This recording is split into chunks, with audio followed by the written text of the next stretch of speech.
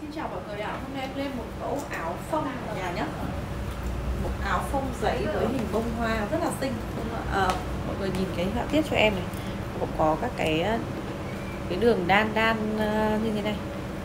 Quên lại đan kiểu nó khoét đi mọi người nhá, khuyết ở cái hình bông hoa nhỏ như thế này và logo ở đây màu rất xinh luôn. Em đang mặc đó là màu nâu và màu đen phông giấy thì siêu mát và siêu nhẹ, mặc cực sướng luôn.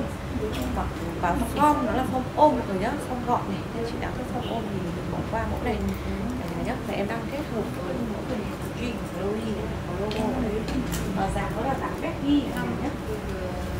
Dáng Becky và bao gấu. À gấu nó là phải bao gấu và gấu có đai. Để chị nhìn phong dáng của em.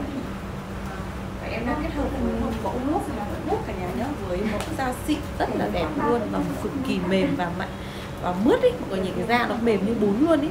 Và cái cái cái cái, cái, cái dòng này các chị đi uh, rất là đẹp này và kiểu trông nó cá tính ấy. riêng cái dòng này nhá mình mặc quần áo cũng đẹp và mình mặc với cả mình đi với cả, cả váy cũng rất là xinh. Riêng cái dòng này cực kỳ dễ đi. Xinh lắm. Và nó là đế đen nên mọi người không sợ lo bật chân mình bẩn ở đây mình lau được. Và cái này nó là đế đen rồi nên các chị không bị lo bị bị bị bị, bị bẩn đâu ạ. Đây quần xuất sắc rồi. Quần rất là xinh luôn.